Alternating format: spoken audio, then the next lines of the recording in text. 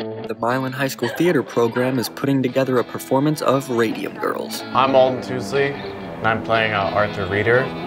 He views things in black and white, very right or wrong. It's a bit more dramatic than the other shows I've done. This show is different because it has a more serious tone and we can relate it to the current events of the Flint water crisis. I'm Lucas Barrett, and I'm playing the character of Tom. This play brings awareness to something that happened that many people don't actually even know about. Radium Girls is a play written by D.W. Gregory. It is based on a true story where girls grow sick by working in a paint factory.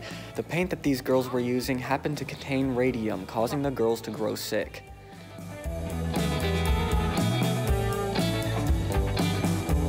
I'd, think the hardest part about portraying, portraying my character has been really digging deep into her emotions.